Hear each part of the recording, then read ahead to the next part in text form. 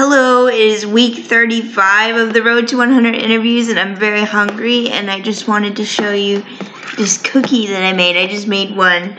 One is enough because it's it's really big, and I've been thinking about doing that for several weeks now, and so I just went ahead and made one.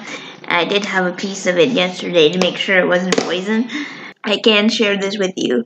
Um, but here's a, here's a piece. I have a pretty awesome update, and that's that Eric Alper said yes, and he would like to do an interview with me. So knock on wood that we get to do that. He would like to do it on September 19th. So that is potentially my last day for this project.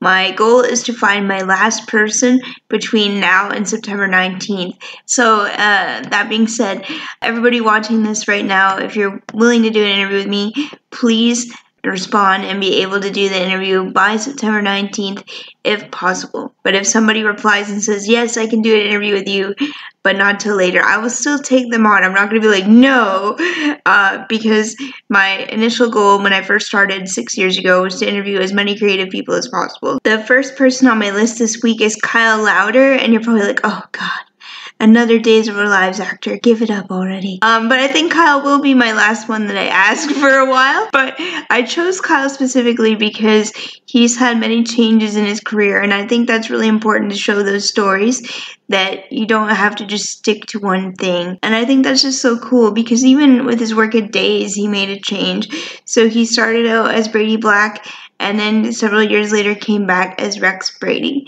Right now, Kyle works as a news reporter and anchor for a television station in Reno, Nevada, and so that is not Days of Our Lives related, and so I have questions about that career change. Kyle's news station has a segment every week where they try to get a pet adopted, and he recently posted a kitten named Butters, and he was adorable, and it seemed like Kyle might be interested in the kitten, and so that's one of my questions was was Butters adopted? I need to know. This is valuable information to me, Kyle. Please respond by September 19th. The next person on my list is Frank Warren, and he is the creator of Post Secrets. Someone will write a secret on a postcard and mail it to Frank, and then he posts it on the internet. And you think, why would someone do that? But it's all anonymous, and I think that it's probably therapeutic for a lot of people, not only to like get something off their chest, but to also make something. I have actually been making little cards myself, but they don't have secrets on them. They just have pictures and then they have lines on the back in case someone else would like to write on them. So this one is fun. I like this one. I donate a lot of my stuff to the Free Little Art Library downtown at Tap Center for Creativity in London, and someone left this drawing in the donation box. So I took it, and then I thought it kind of looked like the Starbucks logo, so I put that together.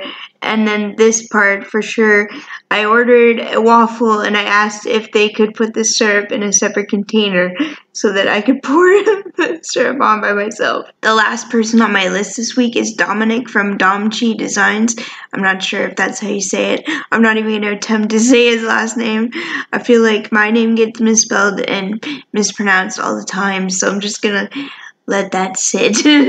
and he is a water marbling artist, and I had not heard of water marbling until I saw his stuff on Instagram. So he is known for his designs on hats and clothing, he always is posting how he does stuff on Instagram, but it still blows my mind every single time I watch it. I don't understand, and that is why I want to ask him questions.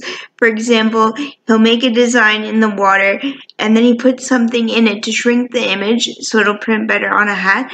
And I commented one day and I was like, How do you do that? What are you doing to shrink the image and he didn't reply but someone else did and they were like magic which is also a valid answer but i would actually like to know like what are you doing I decided I would like to try printmaking, which is something I did a little bit in high school, but only for like a very short time. So other than that, I've had no instructions. I've been doing a little bit of printmaking in between trying to secure interviews, and I wouldn't say it's good, but I'm learning. I'm new at it. I, I told my mom I feel like I'm five, making like all these little circles, but she said it's a new art and you are practicing.